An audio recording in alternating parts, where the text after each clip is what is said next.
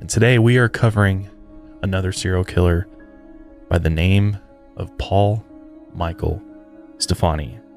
Paul Stefani would become known not only for his heinous crimes against young women, but for his wavering, weepy voice when he called police to confess his crimes.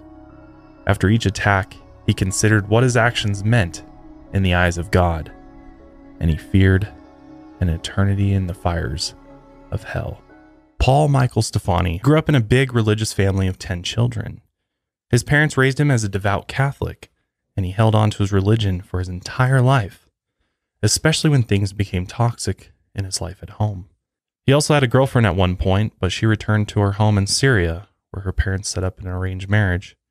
Paul felt betrayed after she left him, and he held on to this anger for many years.